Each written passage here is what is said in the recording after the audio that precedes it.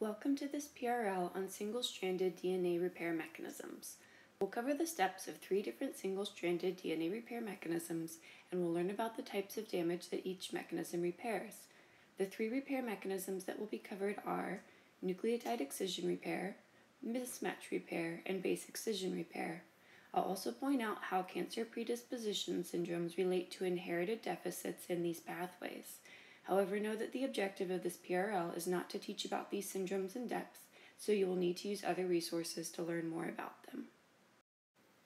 DNA is represented in the same manner throughout this PRL. The dark teal line combined with the light green boxes represents the sugar phosphate backbone. Specifically, the light green boxes represent the sugar molecules. The 3' end is represented by the arrow head, while the 5' end is represented by the arrow tail. The letters represent the bases. The double helix is ignored for the sake of simplicity. Let's move on now to look at nucleotide excision repair. Nucleotide excision repair recognizes three primary DNA errors or lesions. First, bulky adducts, which are attached to the bases. An adduct is just a complex formed when a chemical binds to a biological molecule. Next, regions of mismatched or damaged bases. These are more than one base. And finally, thymine dimers, which are also called pyrimidine dimers. These are covalently linked adjacent thymine bases. If the thymine dimer is not recognized and repaired during the next round of DNA replication, it may be read as a single base, and that may result in a frameshift mutation. An important feature to note is that both bulky adducts and thymine dimers distort the structure of the DNA molecule. This is important because there are two pathways of nucleotide excision repair. These pathways differ only in how DNA damage is recognized. Specifically, one pathway is initiated by proteins that recognize distortions of the DNA double helix. All of the subsequent repair steps in both pathways are the same. Let's now take a look at the agents that cause these DNA distorting forms of damage. An important cause of bulky adducts are polycyclic aromatic hydrocarbons. This is a big name, but it simply describes the basic structure of a group of over 100 chemicals that are released from the burning of organic materials such as coal and wood. They can be released also from broiled meat, and they constitute some of the main carcinogens from cigarette smoke. Another cause of bulky adducts is aflatoxin. Aflatoxin is a carcinogen produced by certain types of the aspergillus mold. This mold grows on rotting corn and rotting legumes like peanuts. Children are particularly susceptible to aflatoxin, which leads to stunted growth and to liver toxicity.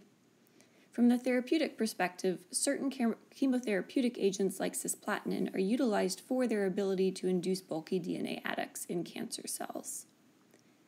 Thymine dimers have one primary but very important causative agent, UV light. UV light can cause covalent bonding between two neighboring thymine bases.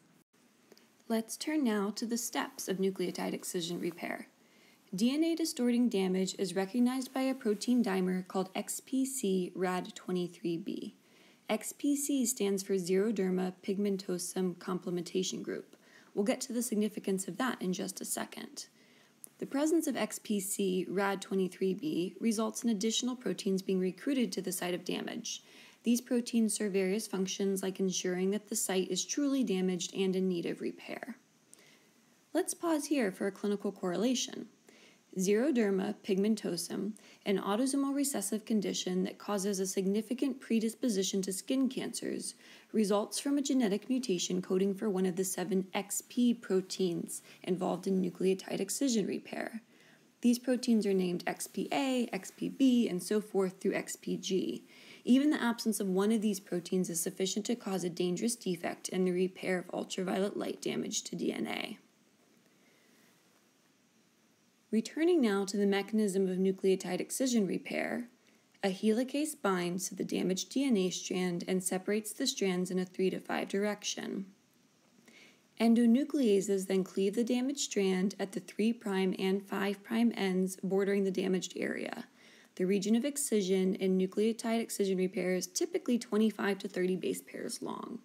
Finally, DNA polymerases use the intact strand as a template for resynthesizing the region of excised DNA.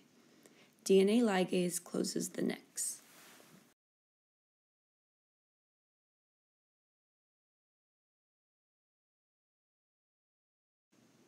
Let's move on now to mismatch repair. Mismatch repair recognizes single mismatched bases as well as small insertions and small deletions. Single base pair mismatches are often the result of DNA polymerase making an error, then failing to proofread and correct that error. There are various causes of small insertions and small deletions, but one in particular is very important with regard to cancer. Let's take a look at that now. Microsatellite instability is a condition of high susceptibility to genetic errors that results from the mismatch repair mechanism failing to correct replication mistakes in error prone regions of DNA called microsatellites. Microsatellites are repeating nucleotide sequences that are a normal part of the genome. The sequence itself consists of 2 to 5 nucleotides, which typically repeats between 5 and 50 times. An example of a microsatellite is illustrated here. Microsatellites are significant because these regions of DNA are susceptible to a phenomenon called slippage, which occurs during DNA replication and results in small insertions and deletions. Let's take a look at how this might happen. In the first instance, imagine that during S phase of the cell cycle, DNA polymerase is synthesizing a new strand from a template strand. The template strand has slipped, creating the loop you see here. DNA polymerase fails to replicate the small sequence that slipped. The consequence is a small deletion in the newly synthesized strand. This deletion will be propagated when DNA replicates again unless the mistake is caught by the mismatch repair mechanism. An insertion results when the slippage occurs in the strand that is being synthesized. This loop will result in more nucleotides in this strand than there should be. Again, this is an error that will be propagated continuously unless caught by the mismatch repair mechanism. Without a functioning mismatch repair mechanism, a cell is susceptible to microsatellite instability, wherein numerous replication errors accumulate because of slippage in the microsatellite regions and failure of recognition and repair by the mismatch repair mechanism. Let's move on now to the steps of mismatch repair, using the example of a single mismatched base. The proteins that are named are important to be familiar with. First, the MSH2 and MSH6 proteins bind together. This MSH2 MSH6 heterodimer binds to the DNA at the site of the mismatch.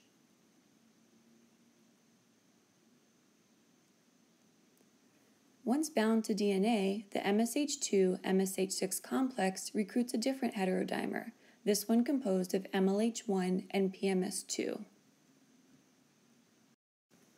Let's pause here to check out a clinical correlation. Lynch syndrome, also known as hereditary non-polyposis colorectal cancer, is an autosomal dominant condition that predisposes patients to several types of cancer, but particularly colon and endometrial cancer. A defect in any of the mismatch repair proteins, MSH2, MSH6, MLH1, or PMS2, can lead to microsatellite instability in an affected cell and eventually to the development of cancer. It's important to note that in the majority of cases, these deficient proteins result from a somatic mutation, one that is not heritable. In fact, microsatellite instability accounts for approximately 15% of all sporadic colon cancers. But when the defect is a germline mutation, patients have a heritable genetic defect in one of the four mismatch repair proteins. This is Lynch syndrome. Patients with this heritable defect have a significantly increased risk of early onset colon and endometrial cancers. Let's now finish reviewing the mechanism of mismatch repair. Once combined, the four protein complex of MSH2, MSH6, MLH1, and PMS2 recruits EXO1, an exonuclease. EXO1, along with the MLH1 PMS2 heterodimer, nicks the DNA strand containing the mismatched base and the affected region is removed. Finally, DNA polymerases use the intact strand as a template for resynthesizing the region of excised DNA. DNA ligase closes the nicks.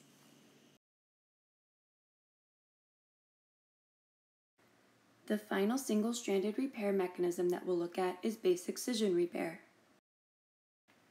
Base excision repair carries out much of the day to day repair of the genome, including the repair of DNA damage that results simply from spontaneous DNA decay, but also from environmental chemicals and radiation.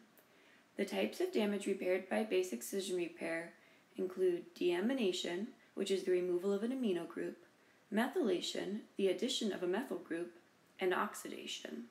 Note that these forms of DNA damage do not distort the DNA double helix. Left unrepaired, deamination, methylation, and oxidation can result in incorrect base pairing during later rounds of replication. Let's take a look at the steps of base excision repair. First, DNA glycosylase identifies the damaged base, breaking the hydrogen bonds between paired bases so that the damaged base flips out. Let's pause here to talk about DNA glycosylases. DNA glycosylases are enzymes that demonstrate specificity with regard to the damage that they recognize. There are a number of different glycosylases, and each one recognizes only a small number of similar base lesions. There is also redundancy in the base excision repair mechanism, which is to say that any given damaged base is generally recognized by more than one glycosylase, as shown here. You don't need to memorize the names of any of these glycosylases or their specificities. These are just a few examples to demonstrate the principles of specificity and redundancy. Let's return to the steps of base excision repair. After DNA glycosylase removes the flipped out abnormal base, it leaves behind abasic site that lacks its base. This is called an AP site, with the AP signifying apurinic or apyridimic. Next, AP endonuclease cleaves the phosphodiester bond 5' to the AP site, while AP lyase cleaves the phosphodiester bond 3' to the AP site. This allows for removal of that piece of DNA backbone. Next, polymerase beta replaces the excised nucleotide. And finally, DNA ligase closes the nex. This concludes the PRL on single-stranded DNA repair mechanisms. We covered nucleotide excision repair, mismatch repair, and finally base excision repair. This PRL did not cover direct repair, which you should review on your own. The double-stranded repair mechanisms are covered in a separate PRL.